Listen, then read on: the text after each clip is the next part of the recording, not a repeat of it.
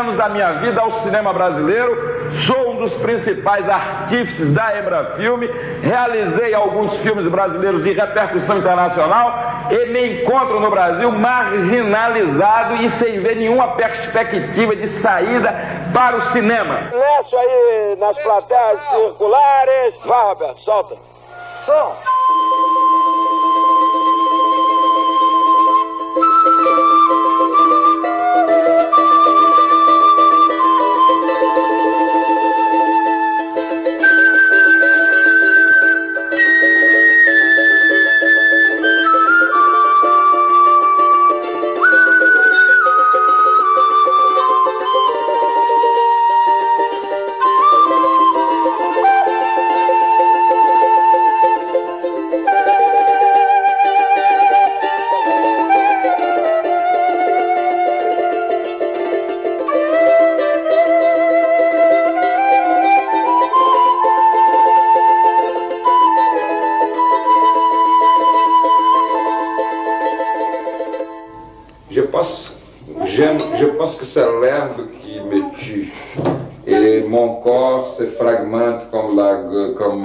Guernica de Picasso. Non, c'est I have in my blood uh, 14 000 globules blancs.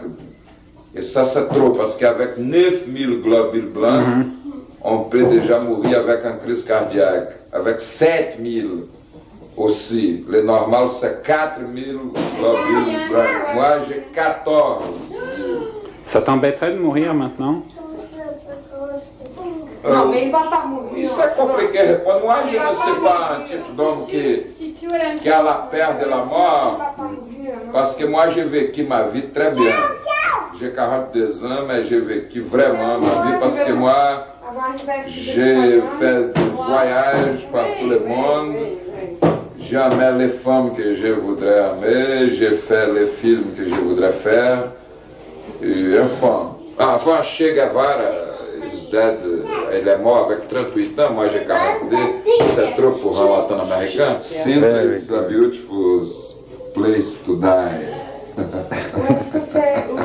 Aí ele chegou lá e disse: Que coisa, Jorge Amado está aqui em Portugal, que é nossa espécie de pai nosso.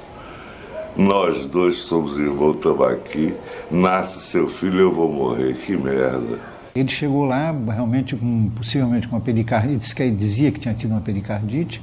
O certo é que ele chegou com uma lesão muito grande no pulmão. Jorge Amado foi um dos primeiros a, a ir lá no hospital visitar o Glauber. E ele dizia para o. Ele muito feliz por causa dessas visitas todas, amigos, né? Ele dizia: Isso é uma. Doutor, isso é uma grande superprodução. Isso é uma superprodução. E eu me lembro que aí, depois desses dias, ele resolve ir para Lisboa. Ele chega para o doutor Carlos Serra e diz: Doutor, a superprodução tem que continuar. Há um mistério nessa história toda, que é o Glauber dizer que ia morrer com 42 anos. Ele já dizia isso há muito tempo, né? O Glauber dizia: Você sabe que eu vou morrer com 42 anos, porque eu sou. Eu sou uma reencarnação do Castro Alves que morreu com 24, eu vou morrer com 42. Ele falava assim dessa relação sutil né, com Castro Alves. E tem a ver, tem a ver. É, eu me lembro, a última vez que eu vi foi ele com a cara esculhambada, deitado assim. Eu no corredor da história fiz, oi, Baldo. Ainda tentou dar uma risada assim. Eu fiz, oi, mas eu tava meio lacrimoso, aí deixei ele pra lá. E me lembro que quando, quando, quando o avião passou, eu fiquei prestando atenção, tentando adivinhar qual era o avião que ele estava embarcando. Aí eu me lembro que eu, enganadamente, infelizmente, é, disse assim, porra, agora a Globo se salvou. Não sei porque eu achava que ele vinha para o Brasil a se salvar. O Glauber tinha uma mania de quando ele queria agradar, ele chamava a gente de mestre. Uma coisa meio baiana, meio nordestina, né? Quando ele queria fazer um galanteio a um amigo, ele chamava de mestre, né? E eu entrei até com o Luiz Carlos Barreto na, na sala em que ele estava, ele já estava inconsciente. E de repente ele teve uma recuperação. Aliás, nós entramos porque o médico disse que ele estava tendo uma recuperação, que a gente entrasse, que ele era capaz de reconhecer. Aí ele olhou para mim e disse assim: Como vai, mestre? Elegante como sempre. Que é uma mentira, porque eu nunca fui elegante na minha vida. E foi a última frase que eu ouvi do Glauber. Né? É, tem de botar o barco para correr. Foi a última coisa que ele me disse.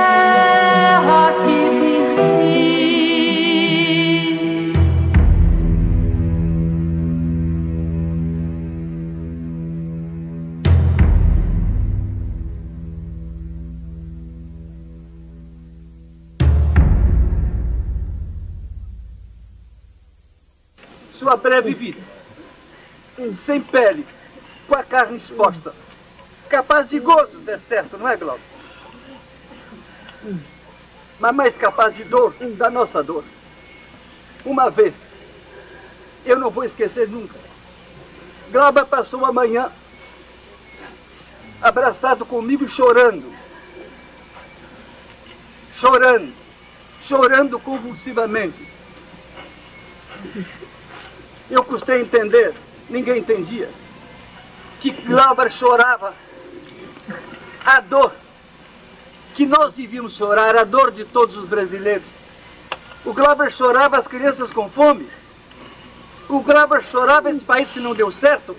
O Glauber chorava a brutalidade. O Glauber chorava a estupidez, a mediocridade, a tortura. Ele não suportava, chorava, chorava, chorava. Os filmes do Glauber são isso. É um lamento, é um grito, é um berro. Essa herança que fica de Glauber.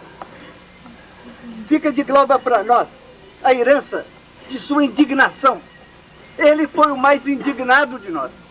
Indignado com o mundo tal qual é, assim. Indignado, porque mais que nós também, Glauber podia ver o mundo que podia ser, que vai ser, Glauber, que há de ser. Glauber viveu entre a esperança e o desespero, como um pêndulo louco.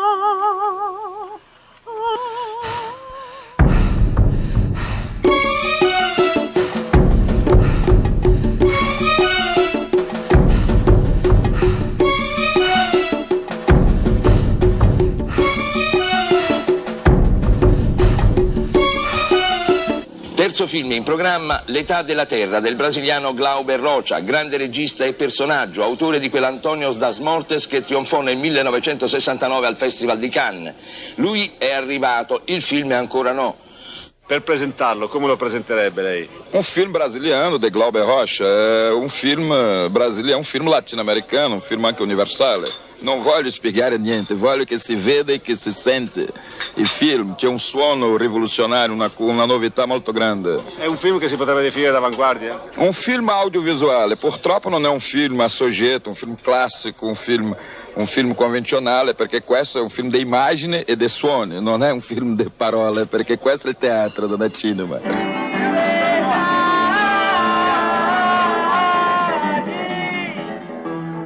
La tensión es muy grande y a medida que empieza a correr la película en la pantalla, la gente empieza a desfilarse. Primero sigilosamente para pasar más o menos inadvertida y empieza a irse. Nosotros que estamos ahí recibimos esos primeros alfilerazos yo que conozco bastante el ambiente italiano, veo que inclusive algunos fans de Glauber se levantan y empiezan a irse también. Y la verdad es que vamos acusando el golpe, es natural. Cuando termina la película, la sala está despoblada. Gloria e Atlantic City erano due film che si proponevano compiti molto meno alti di, ai dati da terra e che giungevano a risultati molto più definiti perché eh, l'ambizione era più piccola. Cioè, nonostante ritengo che ai dati da terra sia un film imperfetto, eh, ma questo non si poteva dirlo a Glauber, perché Glauber stava facendo una battaglia durissima. Tirando os críticos franceses que escreveram alguma coisa favorável, o resto foi a, a pichação total, ninguém entendia direito. E o problema é o seguinte, eu acho que ninguém estava prestando muita atenção no filme, tá? Todo mundo prestando atenção na figura do Glauber e a crítica toda, principalmente italiana, né, muito esquerdista, e com uma visão errada do que ele estava fazendo, estava achando que ele era agente do imperialismo, a coisa já, já desandou por aí, por aí. Então foi muito mal recebido. E quanto mais mal recebido era, mais aceso ele ficava com esse negócio. E não deu outra, né? No fim do, do festival, quando premiaram lá o, o, o Limale, né? Ele, ele promoveu um negócio inusitado. Ele fez uma passeata ali pelo Lido de Veneza, né? Fazendo um protesto, discurso contra contra esse sim imperialismo cultural que abafava as nossas raízes, a nossa potencialidade, etc, etc.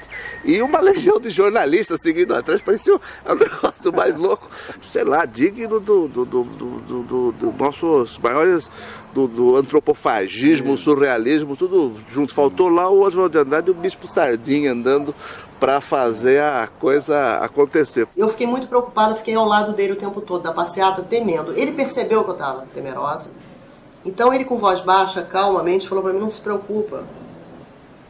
Não se preocupa que não, não tem problema. Eu disse para ele, mas não pode falar isso que você está falando. Ele falou, eu posso. No hall do Hotel Excelsior, no, no Lido de Veneza, Glauber Rocha se encontrou com Mali. O cineasta francês, cauteloso, dirigiu seu colega brasileiro mais ou menos em tom paternal. Glauber, cabeça fria, festival é assim mesmo, nem todos podem ganhar.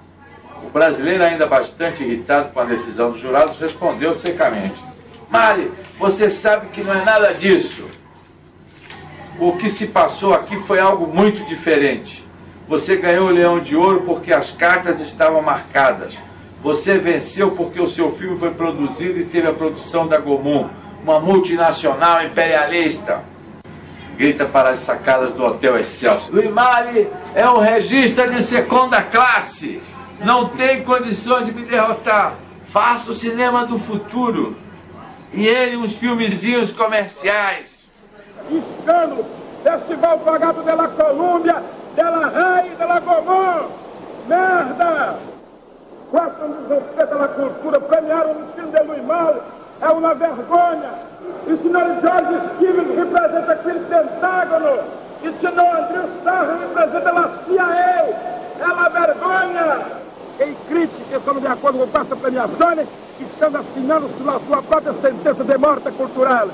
Questa la vergogna, um escândalo quase que accaduto qui, é um desrespeito alla tradizione del uma mancança de respeito alla tradizione del cinema, qui in Italia, qui in Italia, na Itália de Rossellini, na Itália de Visconti. Questo non è possibile.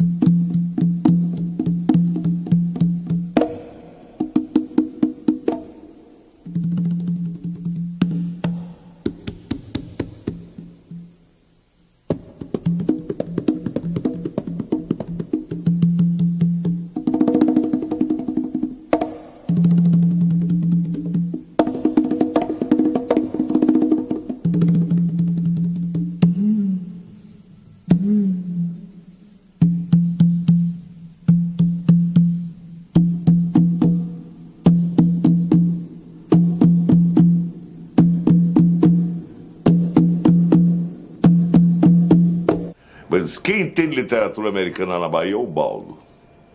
E eu não entendia chonga de literatura americana, sabe? Uma besteira ou outra, tinha lido o Hemingwayzinho, uma bobagem ou outra. Mas ele me deu tal compromisso com, com esse negócio de entender literatura americana que eu comecei a estudar. Eu fiquei, fiquei nervoso, porque começaram a me cobrar. A disse: você entende literatura americana? Ele me inventou como personalidade literária e me inventou como escritor. Então ele captava coisas minhas que eu não sabia que eu tivesse. Que, como por exemplo, eu tinha estudado muito música e tal, mas nunca tinha me atrevido a, a, a, a orquestrar. Era o sonho da minha vida conseguir fazer uma sinfonia, escrever uma sinfonia.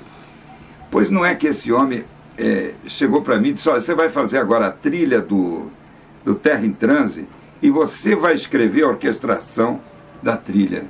Eu digo, mas Cláudio, isso é uma loucura, porque eu nunca escrevi para orquestra. Ele disse, mas eu sei que você escreve. E não é que eu escrevi mesmo. Perto do Glauber, nada era normal. Nada era cotidiano perto do Glauber. Isso é que me impressionava muito. Você chegava, se ele tivesse aqui agora, essa, essa loja aqui ficaria, de, essa loja de vídeo ficaria diferente. A gente ficaria diferente.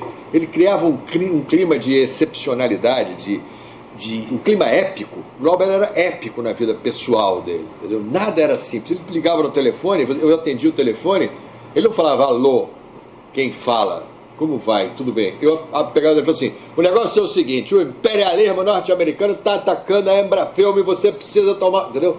Era tudo assim, sem claquete. Glauber era um homem sem claquete, rapaz. Ele falava teses sobre a humanidade, sobre a política, sobre o. Sobre a, ele, de vez em quando ele conversava comigo achando que ele era o Geisel e eu era o Prestes. Né? Ele começava a fazer conspirações comigo. Eu falei, mas eu nem conheço o Prestes, eu não sou. E ele achava que eu era do Partido Comunista. Na cabeça dele eu era comunista, não tinha jeito, eu era, o Prestes. Eu, eu e Prestes éramos assim. Tudo que o Prestes quisesse. E ele era o Geisel. Então ele vinha para fazer acordos e conspirações e tal. Eu falei, mas E falava, ficava horas. Ele entrava na viagem, nessa viagem, não tinha jeito. Não, e você, ah, você não tinha como contrariar. Ele tinha, assim, algumas ideias. Ele, ele queria ser, no mínimo, se ele não fosse presidente da República, ele queria ser o ministro da Cultura. Ele tinha projetos incríveis. Pô, eu nunca podia imaginar um artista se colocar nesse nível. Quer dizer, esses voos que ele dava, né? Quer dizer, eu acho que são pessoas muito raras, né? Que é, ajudaram a gente a pensar grande, né? O que eu sinto hoje no Brasil é que às vezes as pessoas ficaram. O teto de, de, de pensamento, de ousadia no, no, Brasil diminuiu muito. E eu passo que na época de Glauber, né, uma, uma coisa meio. Nós estávamos falando sobre Juscelino hoje, né? Quer dizer, ele é um, também um sonhador, né? Um cara assim que projetava coisas, né? Isso eu acho fantástico. Isso para um artista jovem, para mim, minha, ainda estava num período de, de formação, é, foi fundamental. Né? Eu saía com ele andando na rua ali, da própria Visconde de Pirajá, vínhamos andando, vamos comprar um jornal, tá? vínhamos andando para General Osório. Aí ele.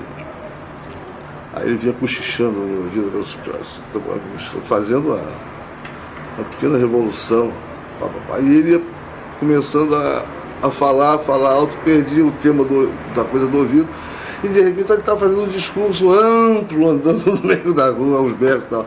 Aí quando chegou na, na, na General Osório, ele se vira para mim e disse assim, olha, não diga que me viu, para sua segurança pessoal. E me deixava no meio da rua e, atravessava para comprar jornal. E eu ficava com aquela paranoia horrorosa, pô, tem todo mundo em volta. Coisa absurda. Não diga que me viu para sua segurança pessoal. Perto da pessoa e falar perto não diga a ninguém que me viu pela sua segurança pessoal. E a mão, como descamba os dedos, que tinha uns pelinhos. E o sair. Se chegava na casa do Glauber 10 horas da manhã, ele estava de cueca, com a camisa aberta, sentado na máquina, batendo, não tinha computador. Batendo lá, não sei o que, batendo e falando e batendo, a parede cheia de fotografia pregada, papel, papel no chão, papel na mesa, papel na parede, papel no teto, papel não sei aonde, papel no, debaixo da máquina, papel no bolso. Era, e ele falando e fazendo e falando, e, é isso aí, o futuro do cinema brasileiro, o futuro do cinema mundial, o futuro, a revolução do cinema, o cinema cinema é isso, o cinema é a nossa vida. E o cinema, e o cinema com uma energia que não parava o tempo todo. Eu falei, Glauber, para, não para, não posso. Eu tenho que continuar falando do cinema. Tem que fotografar o Vida Seca porque você vai revolucionar essa fotografia, acabar com essa fotografia é, alienada, tal, colonizada do cinema brasileiro. Falei, mas, porra, Glauber, eu não sou fotógrafo de cinema. Não, vou falar com o Nelson, vou trazer o Nelson e tal. E aí veio com o Nelson para me nomear fotógrafo do Vida Seca. Né? Falei, mas rapaz, eu só sei fazer fotografia com máquina laica, com lente nua, não uso filtro, só sei fazer fotografia de luz natural. É isso, é isso que a gente quer. A minha teoria sobre o Galvin é que ele era um pastor. Ele, ele tinha a verdade, ele, ele tinha que dizer a verdade para, para os outros. Não só para os amigos, mas para os inimigos principalmente. Ele era portador da palavra de Deus. Ele explicava, então ele tinha essa segurança né, e essa força de usar o verbo como uma pregação. Essa obsessão assim pelo trabalho botar todo mundo para trabalhar, né? Isso deve ter uma raiz protestante, né? Isso é coisa de formação protestante. As provocações que ele faz no cinema brasileiro, elas são permanentes, né? Toda vez que o cinema brasileiro estava aquietado, o Glauber falava um, uma grande maluquice, não é? Inicialmente você se assustava com a maluquice, depois quando você ia administrar, você via não, que era uma coisa orgânica, que era a maneira dele de fazer aquelas coisas.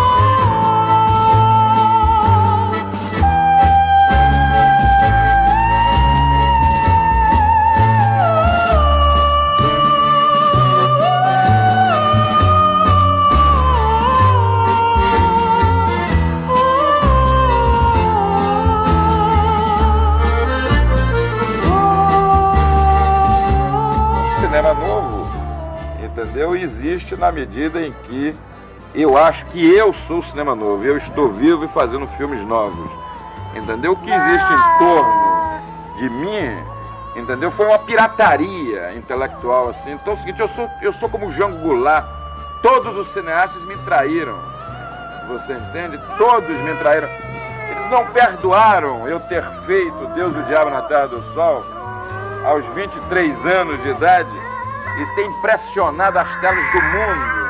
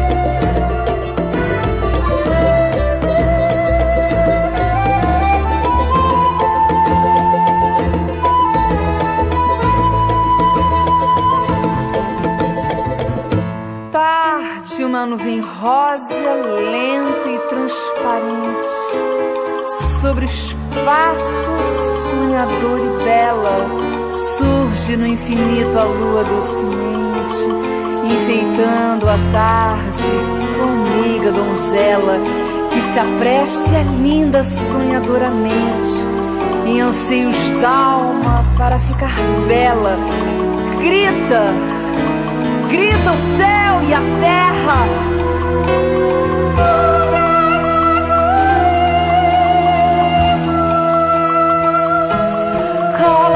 Cala a passarada aos seus tristes queixumes e reflete o mar, toda a sua riqueza. Suave a luz da lua desperta agora a cruel saudade que ri e chora tarde uma nuvem rósea lenta e transparente sobre o espaço sonhadora e bela.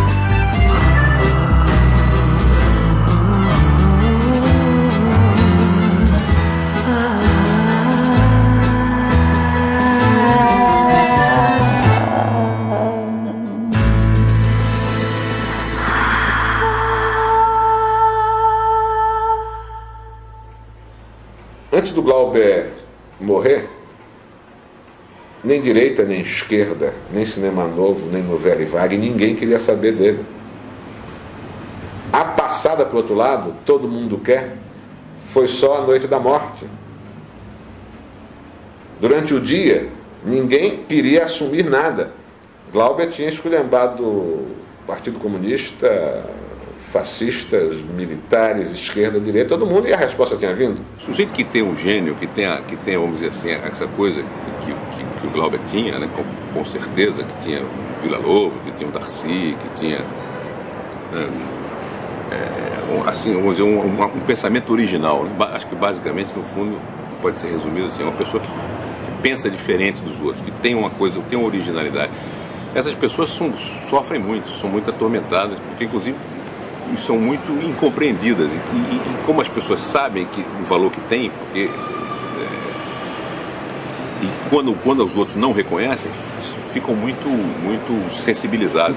Contribuiu para a morte de Glauber é o, esse sentimento de asfixia que ele ia tendo no cinema brasileiro e no, e no próprio cinema mundial. Glauber, até a véspera de morrer, era uma espécie de, de saco de pancada, né? As pessoas é, essa coisa que o Brasil adora, que é maltratar os seus melhores filhos, né? Quer dizer, o Glauber só virou unanimidade artística por causa da sua morte trágica.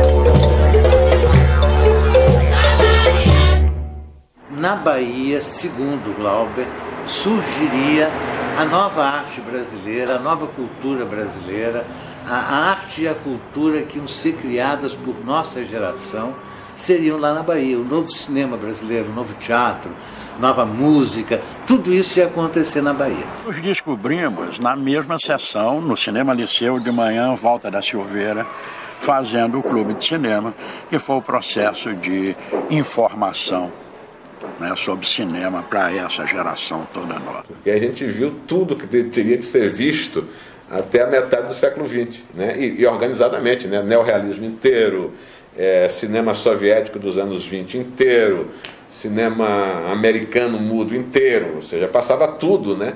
e como um cinefórum, com, com, com apresentação dos filmes, né? E depois com discussão dos filmes, com análise dos filmes, que ele, inclusive, o Dr. Walter fazia ainda por escrito nos jornais, com páginas e páginas de crítica do, do, dos filmes que a gente via no, no clube de cinema. Nessa época, né, eu acho que tem três pessoas que, que formulam né, esta formação, digamos. Que é Valda Silveira na Bahia, Alex Viane no Rio e Paulo Emílio em São Paulo. Os três apaixonados por Glauber Rocha. Todo mundo falava, aquele é Glauber, inteligentíssimo, um gênio, não sei o quê. E eu tinha aquela admiração misturada com inveja. Inveja, não inveja destrutível, eu queria ser como ele, ter cartaz, assim, reputação com as mulheres.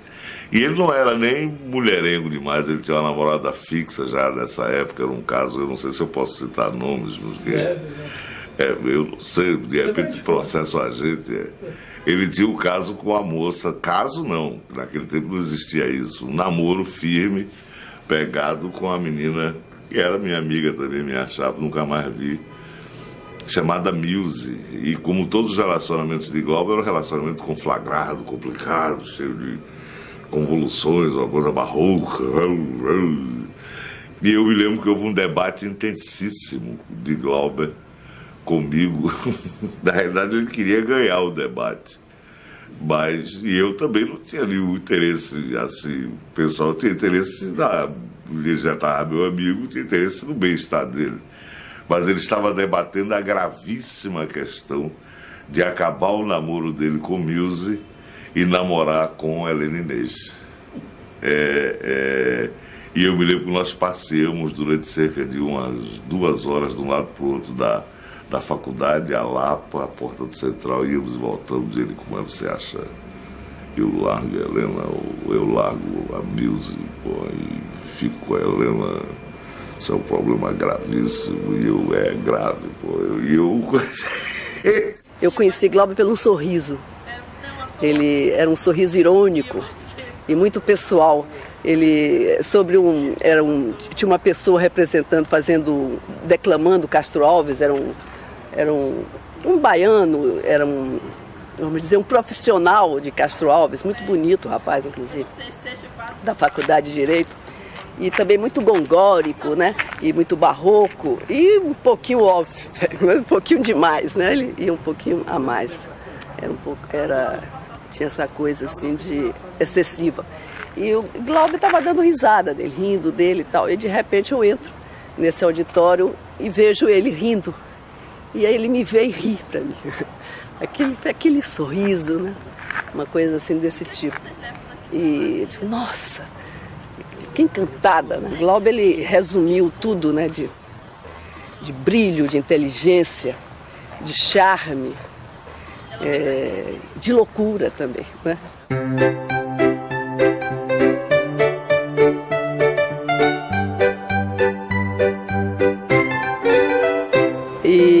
Juntos nós fizemos o Pátio, né? Primeiro filme de ambos que eu produzi.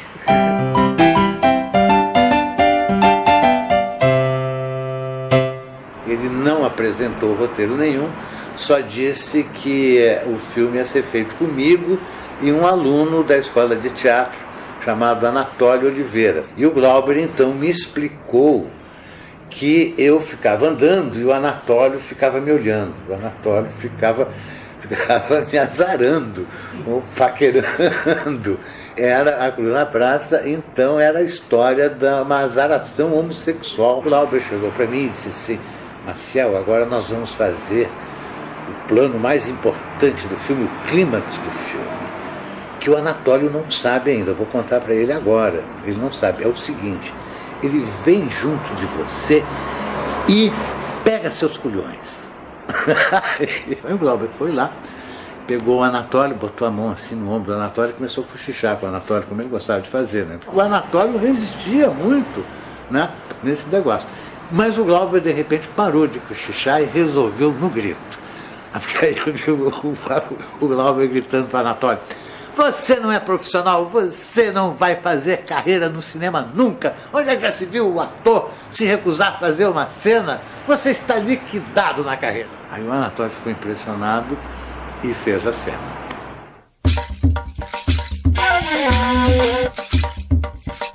O primeiro longa-metragem de Glauber Rocha focalizou muito bem o problema do negro e do negro na, numa aldeia de pescadores negros foi produzido em 61 para 62. Em 62, a comissão do Ministério das Relações Exteriores de seleção de filmes mandou o filme para Karlov Vare e o filme foi premiado.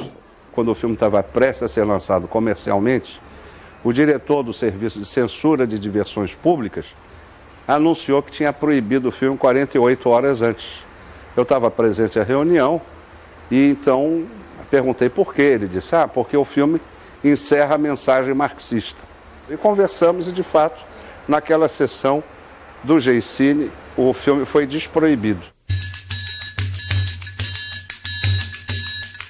Quando eu fui ver o Copião do Corisco, que o Glauber levou para ver no teatro, no cinema Guarani, lá na, na Praça Castro Alves, e eu vi aquele cara rodando, Glauber, isso aí é uma merda, né, Glauber? Você tem. Você acha que, que vai acontecer alguma coisa com isso mesmo? Ele disse, rapaz, isso aí não tem som, não tem fala, a música vai entrar depois, você vai ver o que é que vai acontecer. Se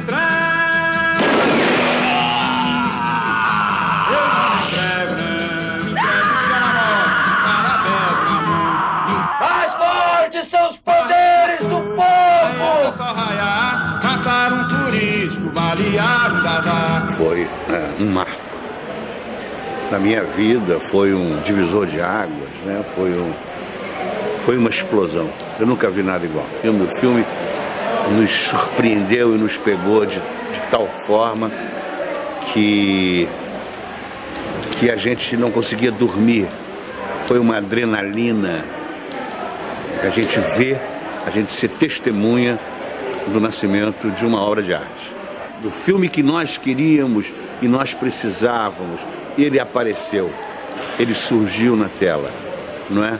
A gente não sabia quão e quanto grandioso ele era e como ele foi importante para a nossa geração e para nós naquele momento. Quando acabou aquela sessão, a gente sabia o que queria, talvez antes não.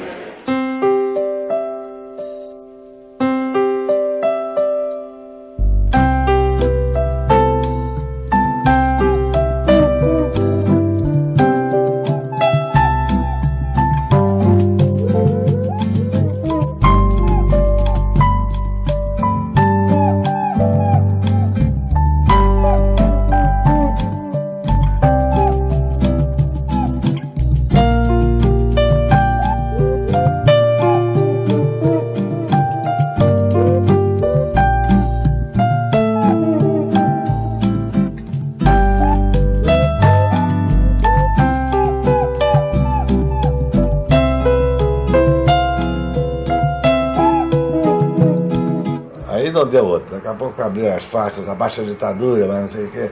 Na hora que o Castelo Branco ia subindo a escadinha, ele deu uma olhada para trás assim, levou um susto danado com aquele negócio, era uma gritaria. Se quebraram os óculos do calado, deram as pancadas ao Flávio Rangel. Aí estava o Glauber, o Glauber chegou, estava o Joaquim Pedro, e o Glauber, aí o Glauber disse, só temos uma solução.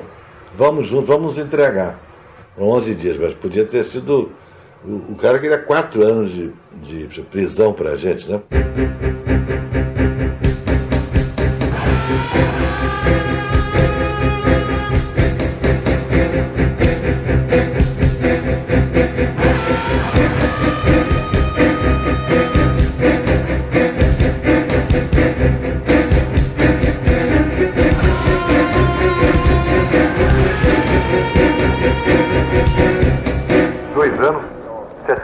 Páginas de roteiro, 43 atores, um estado maior de nove pessoas, cinco semanas de filmagem, 100 mil cruzeiros novos de custo de produção, surge um novo país, Eldorado. Surge Terra em Trânsito. Dias antes do início das filmagens, Glauber Rocha reúne os principais atores de Terra em Trânsito para a primeira leitura do roteiro. Já conseguiram vencer os inimigos. Três vezes o derrubaram do cenário e três vezes ele subiu de novo. Mas também nem Cristo pôde explicar a não ser com a própria vida. Assim, eu respondi a meus inimigos que Cristo deu a ter um plano com você. E o Paulo não indo casar com você, você vai ter que entrar por uma vida completamente diferente. Quer dizer, todo o seu plano vai estabelecer. Quer dizer, você queria fazer alguma coisa na vida, casada com ele e ter. Então você tem que uma grande frustração, apreensão. E agora, ao mesmo tempo, um cara meio esquerdizado, começou a fazer poemas políticos e tal, quer dizer, começou a, a abrir a consciência dele. Quer dizer, a hora que ele começa a abrir e ver que ele tem que se libertar do cara. E o primeiro você tem que dar um passo e para trás, olhando aí. É, não, depois você olha, depois, depois, depois olha para você. O primeiro contato foi muito engraçado, porque eu fazia Liberdade e Liberdade, um sucesso incrível, Teatro de Arena. O Glauber está aí hoje. Acabou o espetáculo, Glauber não apareceu, eu pensei, "Bom, não gostou. No segundo dia, Glauber voltou. Nesse dia ele já andou pelo teatro inteiro, durante o espetáculo, gente, de repente batia a luz nele, a gente via a cara do Glauber aqui ali, de o que está acontecendo? Acaba o espetáculo, ele não foi falar conosco. Eu digo, esquisito. Terceiro dia, o Glauber está aí outra vez. Nesse dia dobrou pé com cabeça, porque o Glauber deitava no chão, o Glauber incomodava os espectadores, fazia assim, com a mão na minha cara. Eu digo, o que está acontecendo? Nesse dia, quando acabou, ele foi meu camarim. Eu disse, Paulo, quero te convidar para fazer um papel num filme que eu pretendo fazer, Terra em Trânsito, me deu o script. Eu fiquei emocionadíssimo com o convite e principalmente com, o- com o cuidado que ele teve de olhar minha cara de todos os ângulos para ver se servia mesmo para o papel. Glauber é um grande diretor de ator, né? Ele conseguia tirar do ator o máximo que o que o ator podia dar. Ele, ele, leva, ele levava a pessoa ao paroxismo, quer dizer, ele leva, o- leva o sujeito ao, extremo da. Quando o cara está no auge da, da loucura, já não pode, não sabe mais o que vai fazer, aqui tá bom para ele, né? Começa a funcionar, o take 1 dele é já o cara no- exacerbado, já no, no último limite. Eu me lembro, por exemplo, tem uma, uma tomada grande, que é o meu último discurso nas, feito nas escadarias do municipal, que seria no Palácio do Governo, é uma coisa meio onírica, e ele ficava atrás da câmera, assim para mim. Mais. Ele queria mais, mais, no, eu no auge do exagero, e ele ainda queria mais. Vamos! Vamos! Vamos, Maria!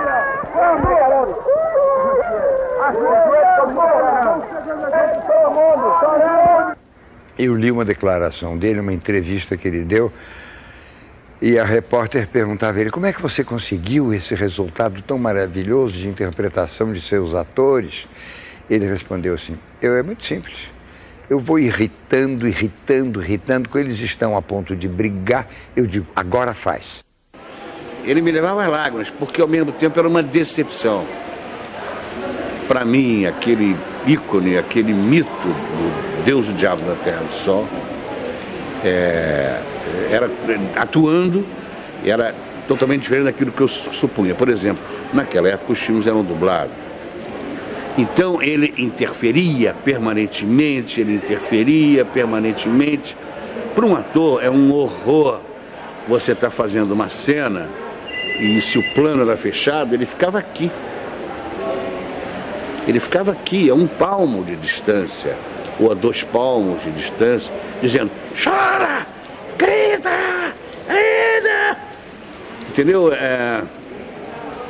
Ele rompia tudo aquilo que eu é, sonhava, né? Que pausa, silêncio, entendimento, emoção, técnica, relação com a lente. E veio o Glauber e explodiu as lentes, quebrou as lentes. Lá se foram as 50, as 18, as 75 pelos ares. Né? O Jardel ficou tão, ficou tão siderado que o Jardel não conseguia mais fazer nada. É, o Glauber dirigia tudo. Assim, levanta a sobrancelha direita, olha um pouquinho para a esquerda, abaixa a coisa, fala com a boca. Pode falar agora, fala. Era assim. Além do amor, além da vida, é tarde. O Glauber escreveu um filme, filmou outro filme e montou um terceiro. Eu acho que qualquer um dos três seria um filme genial. Ele sabia o que estava fazendo, era impressionante. Agora, se deixava levar muito pela intuição do momento, né? pelo aquilo que viesse à cabeça ele fazia.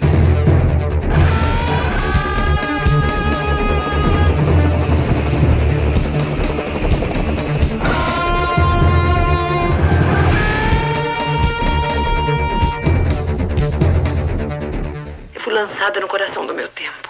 Eu levantei nas praças meu primeiro cartaz. Eles vieram, fizeram fogo. Amigos morreram. Me prenderam. Me deixaram muitos dias numa cela imunda, com ratos mortos. Me deram choques elétricos. Me seliciaram. E me libertaram. Com as marcas. E mesmo assim eu levei meu segundo, terceiro e sempre cartazes e panfletos. E nunca por orgulho. Era uma coisa maior nome da lógica dos meus sentimentos.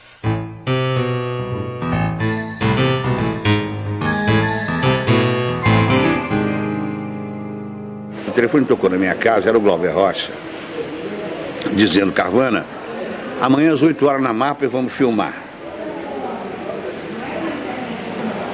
Eu tomei um susto. Eu falei, como amanhã na mapa, às 8 horas da mapa? Vamos filmar as oito Nós vamos viajar para Milagres, porque Antônio das Mãos foi feito em Milagres também, onde eu fiz os fuzis. Ele falou, não, é um filme aqui. É um filme aqui, começa amanhã. Não interessa o que, que é, oito horas na mapa. Eu falei, Glauber, quem é? Que filme? Quer me dizer que filme? Não precisa dizer, pô. Vou dizer. Oito horas na mapa amanhã. Eu falei, mas quem é? Ele falou, Aldete. Você, Itanga, Rogério Duarte. O... Eu falei, tá legal. Aí liguei pro, pro Odete. Falei, Odete, Glauber te telefonou? Ela falou, ligou. Ele te ligou para também? Eu falei, ligou. Ela falou, que filme é esse? Eu falei, não sei, ué. Oito horas da manhã estava na mata. Que era uma ordem, né? Glauber mandou, era uma ordem. E assim eu fiz um filme com Glauber Rocha, que se você me perguntar como é o filme, eu não sei te dizer, também porque nunca vi. Chama-se O Câncer.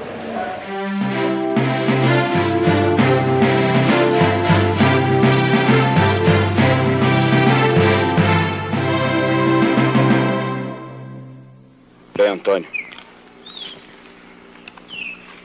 Eu divido o inimigo contigo. Só que você briga com a sua valentia e eu brigo na sua sombra. Isso não, professor. Lute com as forças das suas ideias. Que elas valem mais do que eu. Quando ele terminou de fazer o dragão, né, ele estava numa posição, digamos assim, do cineasta mais importante, digamos assim, fora de Hollywood. O filme foi um grande sucesso, né? um grande sucesso de público, inclusive. Né? Foi o filme estrangeiro do ano que deu mais público na França. Ele, inclusive, achava que era um western. Na cabeça dele, ele achava que, não, que era estava vendo concessões comerciais. Ele não gostava muito do Dragão. Incrível, estranhíssimo esse, esse par de filmes, Câncer com Dragão da Maldade, como se fossem as duas faces da mesma inspiração.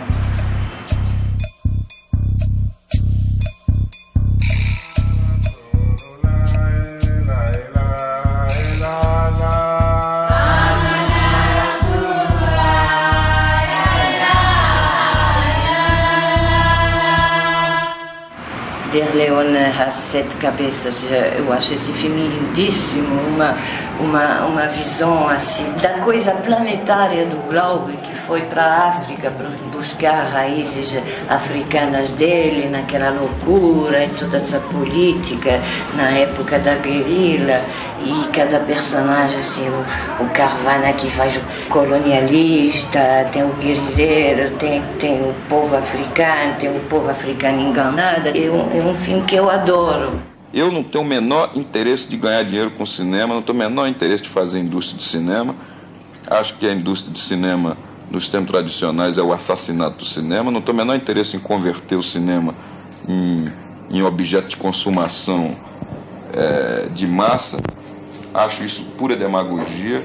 E se eu quisesse ganhar dinheiro com o cinema, eu estaria fazendo filme comercial, porque saberia fazer muito bem filmes comerciais, mas não me interessa e acho que, inclusive, é completamente imoral fazer isso. O meu objetivo, justamente, é fazer esse diálogo feroz com o público.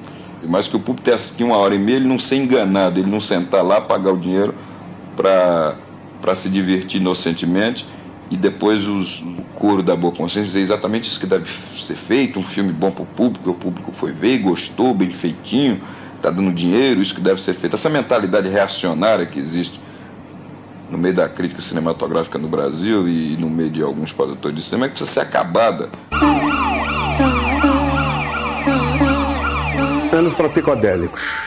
Foi um período muito importante para o Glauber, porque corresponde exatamente ao período em que de fato ele resolveu se exilar. E ele teria de exilar-se. Em 1971, a queda estava muito dura aqui no Brasil. Então ele foi para o Chile, foi para Cuba, Nova York, Paris, Roma.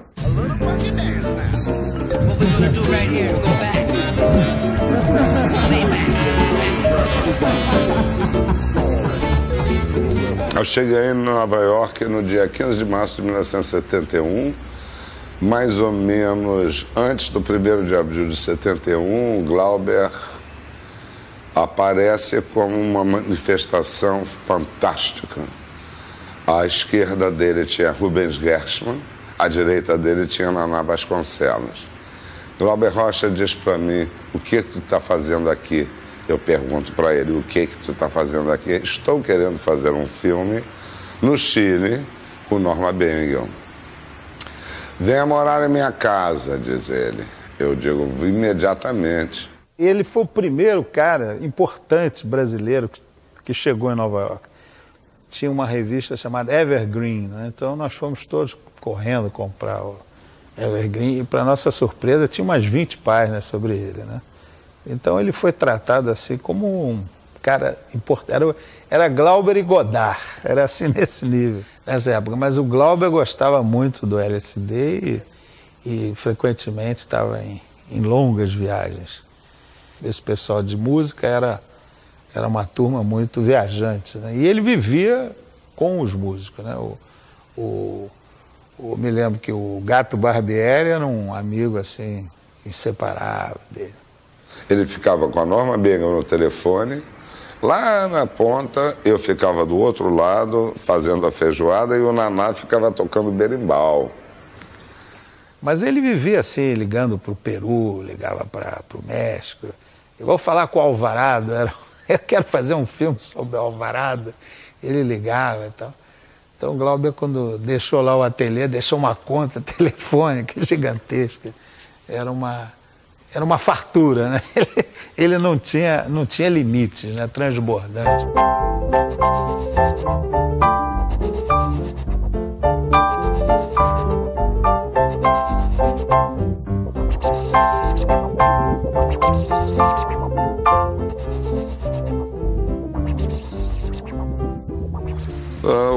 Palms é, é, um romance que foi uh, publicado em 1946 ou 47,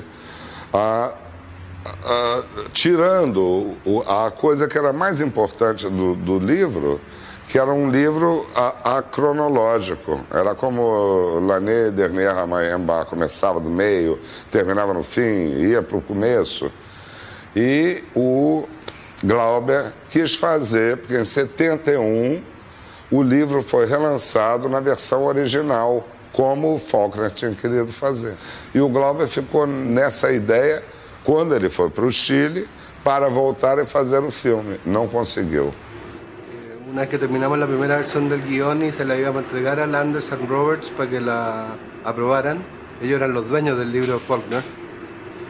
Eh, se produjo una discusión y Glauber les dijo que a él no se le había sentado la dictadura brasileña en la moviola, mucho menos se le iba a sentar Landers and Roberts de Hollywood. Y se acabó el proyecto inmediatamente.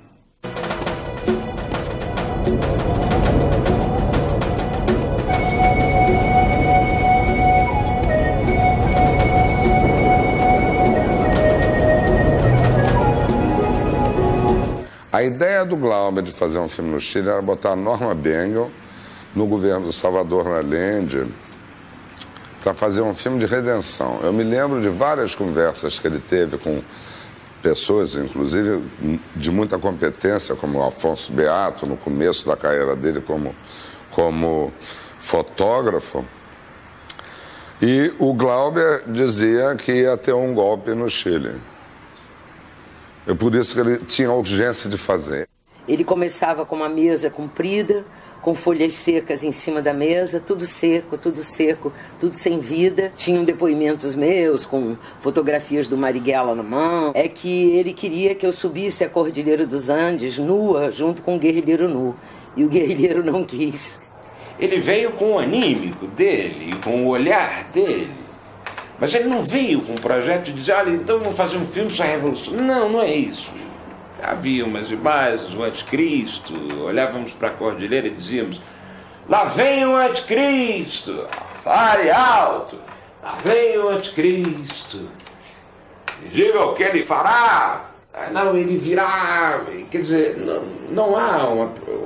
Não há, além de não haver roteiro, não há. É porque é uma aventura. Glauber no momento em que realmente estava trabalhando num filme é, que abordava uma metáfora, ele não tinha a ideia de fazer um filme sobre a Revolução Brasileira. E aí houve uma, uma, uma, uma discussão do Glauber entre os guerrilheiros, que eu não sei direito o que, que foi, mas eu sei que o Glauber parou o filme. Então entrou em choque com os, com os companheiros do brasileiro. E quedaram todos peleados. Um desastre, digamos. Eu não admito que ninguém me peça certificado ideológico do que eu faço. Era imposible que Lauber pudiera entenderse con, con compañeros que venían, digamos, de, de, otra disciplina, digamos, una disciplina militar, una persona tan, tan uh, contradictoria y utópica como Glauber, digamos, no se entendió.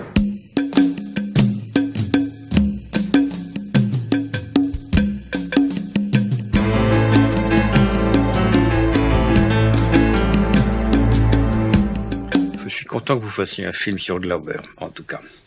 C'était parce que il n'est sans doute pas à sa juste place en ce moment. Je sais qu'on lui en a un peu voulu pour ce qu'il a fait avec les militaires. C'était quand les intellectuels se mettent dans la politique, ils font toujours des, faux pas comme ça. Mais c'était peut-être un faux pas dans la bonne direction. Je ne sais pas parce que lui, je pense qu'il était au fondamentalement un nationaliste, n'est-ce pas? Je crois que c'était un, nationaliste révolutionnaire, quoi. Bon. Alors il avait peut-être pensé qu'il y avait une sortie par là. Enfin, je, ne sais pas, hein, je ne l'ai pas du tout vu dans cette période. Mais en tout cas, euh, il avait, il avait une vitalité un peu anarchique comme ça. Euh, c'était un artiste, quoi. C'était un artiste, un type très généreux.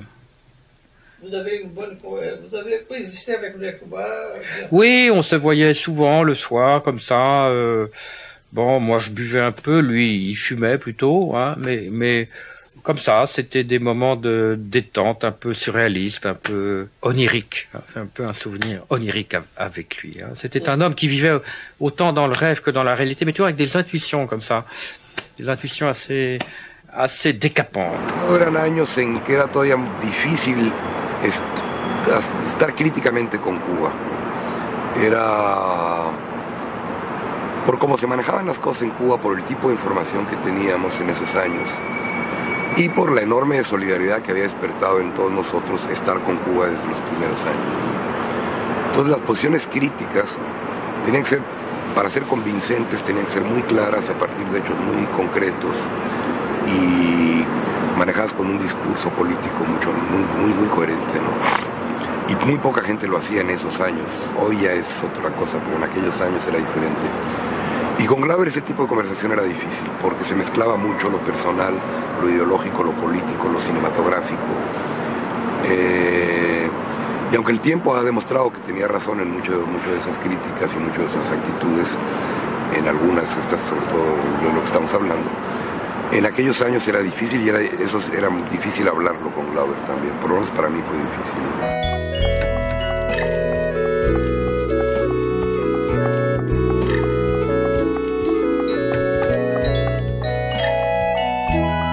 O senhor, como o senhor se sente hoje, nesse primeiro de maio? Eu não tenho palavras para agradecer o resto. Mio rapporto con Glauber è un rapporto di amicizia fatto in una Roma, quella degli anni 60 e 70, che era un crogiuolo di esperienze. Era un periodo molto intenso creativamente. Glauber era aveva una cultura straordinaria e una velocità di pensiero altrettanto straordinaria ed era affascinante, un grande pensatore orale, deliri, ma deliri con molta ragione. Glauber era un cittadino del mondo, quindi vederlo fuori del suo contesto nazionale, quale che fosse, era normale.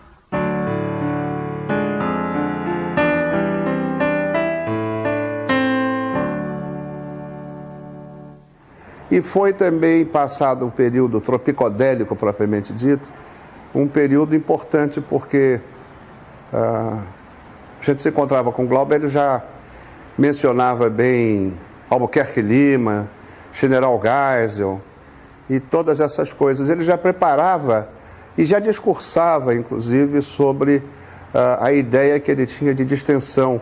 De vez em quando ele citava Velasco Alvarado, a experiência peruana.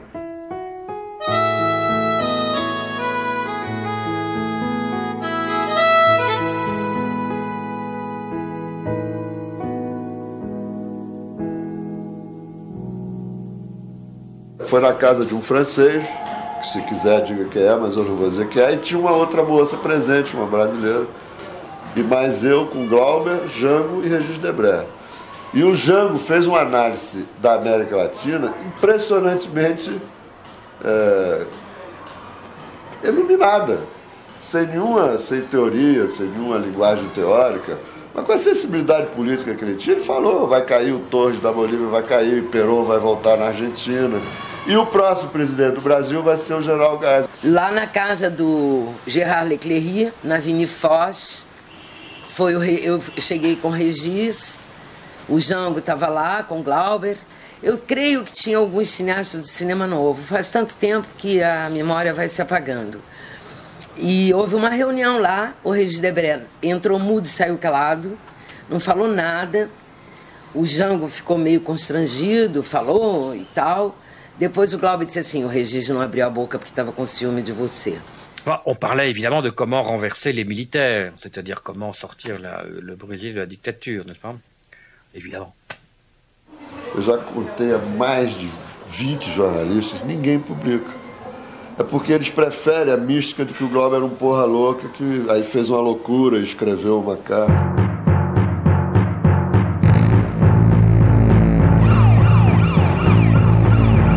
E tinha mandado um longo questionário para o Glauber e no dia lá do fechamento chegou uma carta de uma lauda. Eu olhei e fiquei desesperado, botei a carta no bolso e falei, pô, perdemos na entrevista do Glauber, agora não, não dá mais tempo. Eu mando, peço uma entrevista, mando uma carta para mim e tal. Quando cheguei em casa, aí eu resolvi ler a carta, alguma coisa me, sabe, me tocou, eu fui ler a carta e a carta terminava dizendo, faça o que você quiser, publique, não sei o que e tal. Aí eu liguei para o Cacá, Cacá tinha estado na Itália pouco antes. Falei, Cacá, olha, dá para você ouvir aqui um, uma carta do Glauber, pequena? Dá. Aí li para o Cacá, Cacá disse, olha, é exatamente isso que ele está pensando. Eu voltei a ler a carta e vi que o final era para publicar. Aí eu publiquei.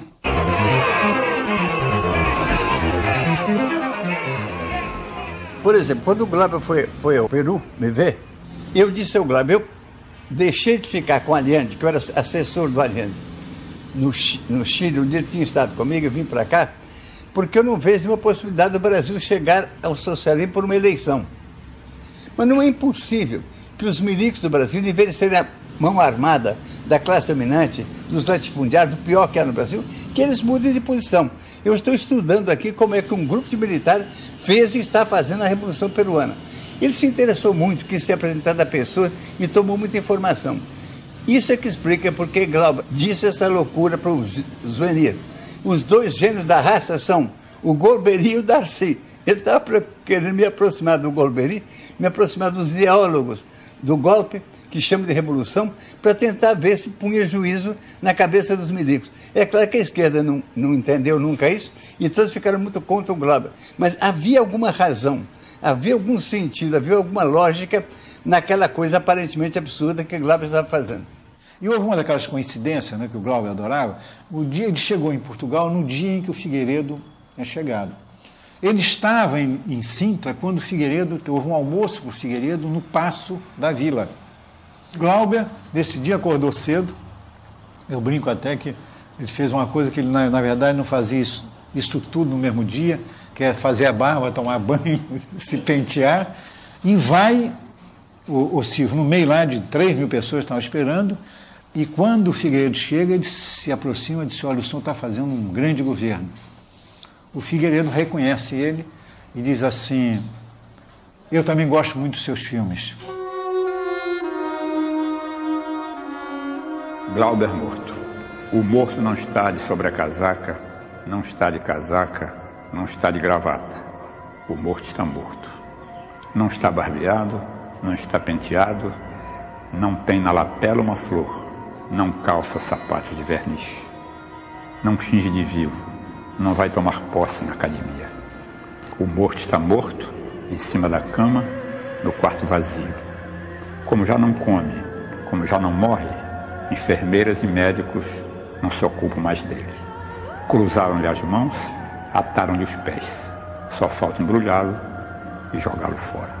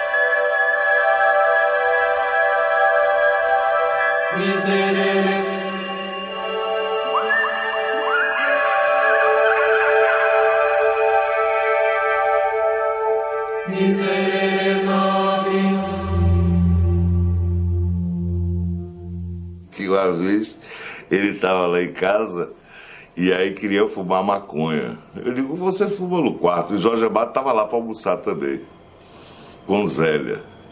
Eu digo, você fica aqui no quarto e fuma, queima seu fumo, eu seguro o Jorge aí, batendo papo. Você abre a janela, tomara que essa merda não chegue lá, o cheiro desse negócio não chegue lá. E aí ele disse, ele me chamou Zubaldo, você podia aplicar Jorge, você podia dizer assim, Jorge, quer dar um tapinha? Eu disse, eu não. Você vá falar com o Jorge. Jorge não pode nem ouvir falar em maconha, quanto mais. Imagina se eu ia chegar para Jorge e oferecer um tapinha. Glauber tá lá com o cachimbo cheio de rachixe e, e, e, quer que você dê um tapinha. Não dê tapinha nenhum, Nelson. Aliás, foi uma coisa que ele me ensinou também. Por que andar vestido? Pelo menos na privacidade você deve, no mínimo, andar nu, né? É o mínimo que se espera do ser humano. E ele falava disso ou não? Não, fato já andava. Simplesmente.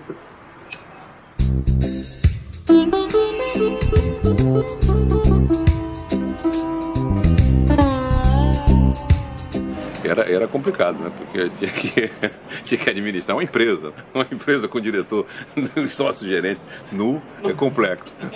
Chegava às 7 horas da manhã. Chegava às 7 horas da manhã. Era, era que abrir o escritório às vezes. E aí ficava nu na moviola. Ele estava comigo, foi me visitar no Uruguai. E eu tinha que participar aquela noite de um encontro do, do candidato a presidente da República, o general Serene, e dos políticos principais do Uruguai, que queriam falar comigo de política latino-americana, como ia a América Latina. Eu fui lá para isso. Agora, o Glauber, quando eu soube por mim que eu ia ter essa reunião, ficou louco. Se eu nunca vi uma reunião dessa, assim, me leva, eu quero. E insistiu tanto que eu levei. Fiz a loucura de levar. Cheguei lá, fiquei sentado com o grupo reitor da universidade do Uruguai, o candidato presidente da República, um grupo de pessoas importantes, fiquei sentado com, com elas conversando. Quando eu senti pelo faro, era o Glaba fumando um baseado, fumando seu. seu. fumando sua maconha. E eu caí numa vergonha desse Glaber doido. Tomara que essa gente não saiba o que é maconha para não saber o que ele está fazendo. E ele fumou seu baseado inteirinho, inteirinho depois apagou num vaso assim e ficou sempre atento assistindo nossa conversa.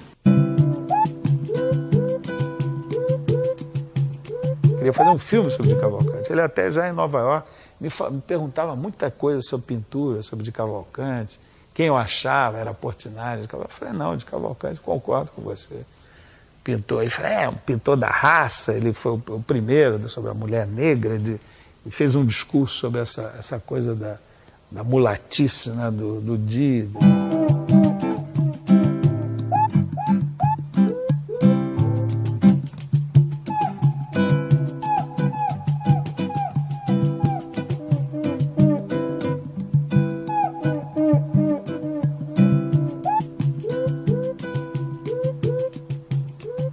Oito horas da manhã, o Glauber bateu lá na porta da, de montagem da Regina Filmes, onde eu estava montando Gordos e Magros.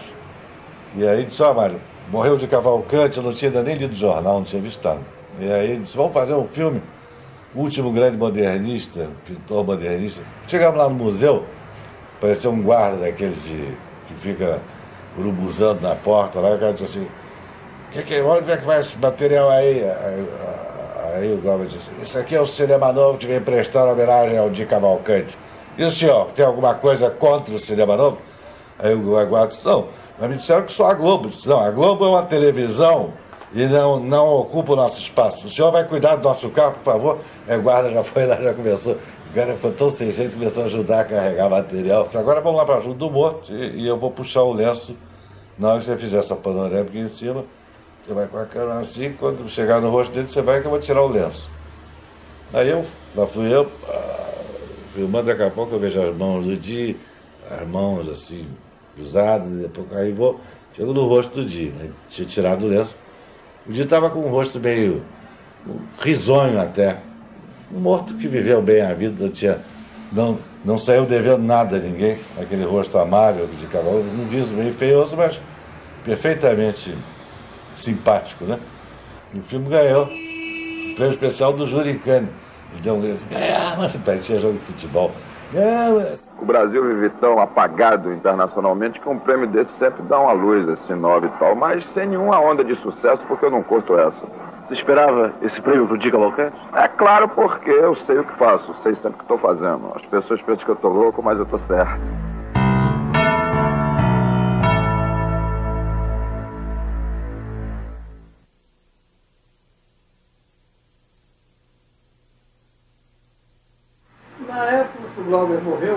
Falou em assassinato cultural. Você mantém a sua opinião? Não, isso é, isso é paranoia corporativista daquela época. Eu acho que não era assassinato cultural, mas eu acho que o Glauber, ele morreu porque ele não suportaria ficar nesse mundo de hoje, esse mundo sem transcendência, esse mundo globalizado, esse mundo sem utopia. O Glauber não aguentaria. Porque o Glauber era, era a utopia estado vivo, ele vivia em função de uma utopia. De repente ele tem que se adaptar a um mundo de mercado, a um mundo de oportunismo, a um mundo de individualismo IUP, essa babaquice toda, um mundo sem grandeza heróica, um mundo sem revolução. A ideia de revolução acabou, pô. Agora, ele tinha esse componente um pouco autodestrutivo a respeito dele. Quer dizer, ele, a figura dele, às vezes, era muito. É, ele se martirizava com não só com as suas, suas loucuras, como ele também, eu acho que ele abusava dele mesmo, né? ele ia nos limites o tempo todo. Ele, quando queria, ele era disciplinado. Até na, na maneira caótica como ele estudava, ele fazia uma seleção muito rigorosa, racional do, do material que ele queria aproveitar.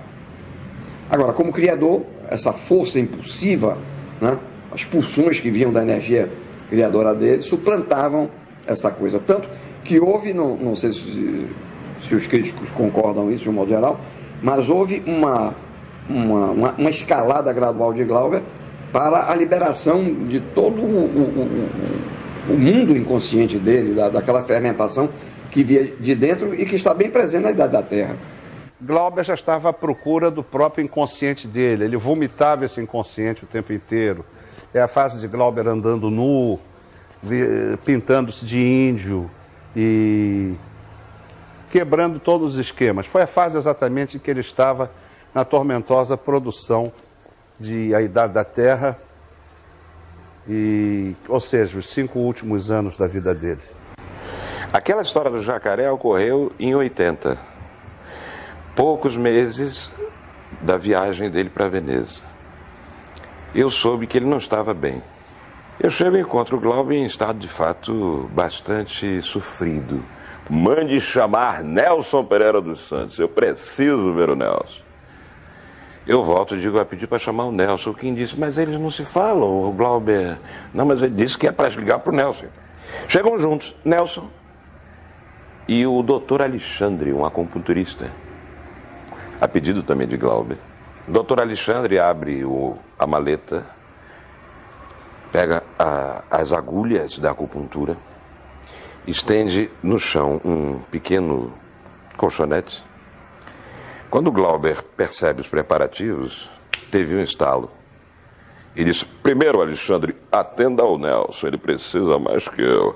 Aí o Nelson meio assim: Não, não, Nelson, você tem que submeter isso, negócio oriental extraordinário. É acupuntura, nós precisamos incorporar isso na nossa cultura. Aí o Nelson, imediatamente, com uma disponibilidade extraordinária, deita-se no colchonete e o doutor Alexandre começa a aplicar as agulhas. Aplicadas no Nelson, parecia que faziam um efeito positivo em Glauber. O Glauber pergunta para o doutor Alexandre: o senhor acha que eu vou morrer? Não, Glauber, de forma alguma. Eu estou sendo perseguido por uma presença estranhíssima, que é um jacaré. Aí eu veio o negócio do jacaré. Qual é o jacaré? O senhor, o senhor acha que eu estou ficando louco? Não, você não está ficando louco. Tira esse jacaré! O jacaré, esse jacaré na praia. Aquele nível de intensidade, né, o destruição e construção uh, caminhavam sempre juntas. É uma coisa que no o Hélio Pellegrino uh, disse no velório, não, não tem jeito, ele, ele queimava a vela dos dois lados, né? E fazia o gesto com a mão nesse sentido. Havia, havia, havia, havia duas chamas que iam, queriam se encontrar no meio. Glauber era um, era um grande amigo, era um irmão, era uma, uma saudade enorme, porque ele era uma pessoa que toda semana eu lembro dele. É uma pena, não tinha que ter morrido. Morreu numa mistura de herói com otário, não tinha que ter morrido.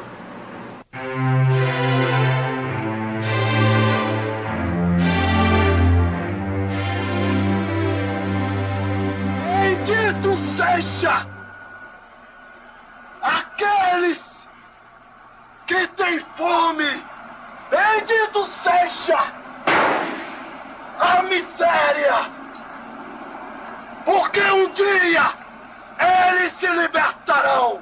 Il film certamente nel clima di un festival come Venezia era un film molto difficile, era anche molto lungo, eh, ha sconcertato tutti, nessuno che io abbia conosciuto lì durante Venezia ha detto ah che gran film. No, non fece questa impressione e Glauber ci rimase molto male. Io poi il film l'ho, per fortuna potuto rivedere in un clima meno di tensione. C'era un clima di eccessiva tensione a cui credo che anche Glauber stesso abbia contribuito. L'ho visto poi qualche mese dopo in un piccolo festival con calma, avendo tutto il tempo per vederlo, senza la fretta dei festival.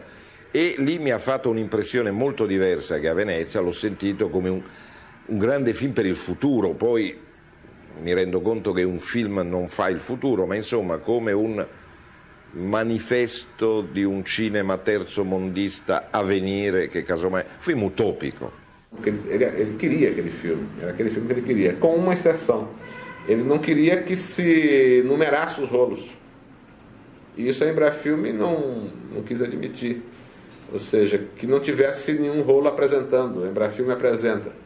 Ou nenhum rolo com fim. Né? Porque uma das dos elementos era que os rolos podiam ser exibidos em qualquer ordem. E ele estava muito cansado do, do, cinema narrativo. Isso ele dizia claramente, dizia toda hora. Né? Aonde o cinema se perdeu, quer dizer, porque o cinema, quer dizer, uma, uma, uma, uma expressão com uma força tão infinita, né, se dedica só a contar histórias.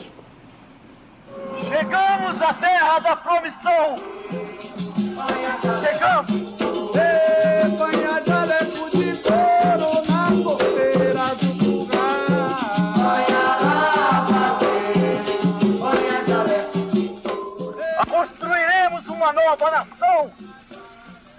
Aqui construiremos uma nova nação! O filme realmente não tem nenhuma história. O filme é um barato audiovisual que fala do Brasil do Brasil de todos os tempos e de todas as eras. E é um poema, não é um teatro, não é um romance. Então não conta uma história do jeito que se conhece. Como é tudo invertido, as pessoas ficam assim. Quer dizer, o filme é isso aí, mas é para ver e ouvir. Não, é, não dá para contar porque não tem o que contar. É pra, cinema é para ver e é para ouvir. Eu não faço um cinema convencional. Quer dizer, o meu tipo de filme é uma coisa que sai de um outro espaço e não obedece muito às leis da dramaturgia convencional. Sabe que o filme era louco, incompreensível, que eu tinha deixado de ser marxista para virar cristão e que então que a minha visão do mundo já não estava mais comprometida, disseram que eu tinha traído os princípios revolucionários, quer dizer, me atacaram ideologicamente, querendo me imputar responsabilidades políticas, quer dizer, e foram incapazes de entender o sentido, a novidade formal do filme, porque são ignorantes. E meu filme coloca a perspectiva além da política para a filosofia. Foi aí que eu disse, olha, é um filme filosófico. E eles acham que o cineasta não pode ser filósofo, de forma que aí o negócio virou mesmo, entendeu? Não é um filme comercial, não é um filme político, não é um filme de West, não é uma porno chanchada, é apenas um filme religioso. Sendo um filme religioso, é uma novidade. Então eu rezei, cheguei na catedral, rezei uma missa bárbara, uma missa bárbara, bárbara, uma missa bárbara e o pessoal se assustou, porque se eles entrassem no barato, eles tinham que ajoelhar e rezar nessa missa. Aí eu disse para eles: olha aqui, é como Cristo chegando, o Cristo bárbaro chegando, os cristãos chegando na catacomba. E vocês estão me acusando porque vocês têm o costume de jogar, vocês romanos, italianos, têm o costume de jogar os cristãos no pasto dos leões, mas eu não tenho medo de leão como o profeta Daniel, que dominará os leões na arena. O amor é a paz, é a liberdade do meu corpo nu. Eu te quero, não deixe! Vem a mim! Não quero a dança da morte. Eu quero a dança da beleza. A dança da beleza. Eu quero o amor. O amor aflito. O amor de paz. Não quero o amor de guerra. Quero o amor. Quero a liberdade. Quero gritar. Quero cantar. pessoas jovens, adorando fazer cinema. E esse conjunto assim, de pessoas que fazem as coisas juntas é uma coisa de uma felicidade extraordinária. Você fazer o que gosta, um bando de amigos talentosos, quase todos são pessoas com talento, e de trabalho conjunto, e ao mesmo tempo cada um tinha suas ideias completamente diferenciadas. Né? Porque assim, a gente achava que ia mudar o Brasil, e ainda com a fé que o Brasil despertava esse Eu, eu digo a verdade. É muito tempo sem Glauber e isso daí é, é a pior coisa que existe no Brasil, é viver tanto tempo sem Glauber. Tá bom. Na verdade, quer dizer, não só do Glauber, quer dizer, nós, a minha geração levou uma cacetada. Eu perdi, eu perdi do Glauber Leão e Joaquim, né? Quer dizer, um dos meus amigos mais chegados no cinema, né? Eu tenho saudade dele e tenho saudade dele aqui agora. Queria muito que ele tivesse aqui agora. Saudade é fogo, brother. é Como é que você definiria o Glauber, só para a gente encerrar?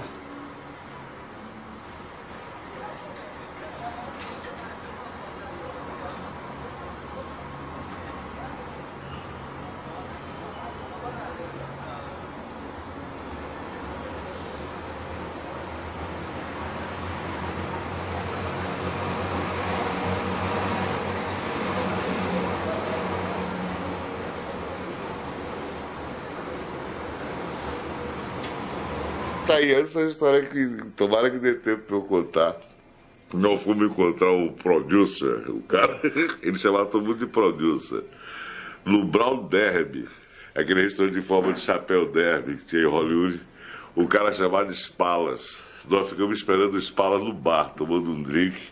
Aí o Spala chegou, o Glauber todo animado, o Spala se levanta assim, e tava com a calça não rasgada, mas descosturada na bunda. O Glauber fez, ai, meu produto é um fudido, tá com a calça roubada, caralho, eu me fudi. Aí fez o seguinte, essa história, você é maluco, olhou pra minha cara, sério pra cacete, os palas aqui, eu não me lembro direito. Eu sei que estavam tava uns três juntos no tamborete. Glauber olhou pra minha cara, assim, sério pra cacete, e deu um peito. Deu um peito silencioso, mas uma coisa, um fedor horroroso. E os palas juntos e olhando pra minha cara como se fosse eu e eu, seu filho da puta, você vem aqui peida e olha pra minha cara e ele.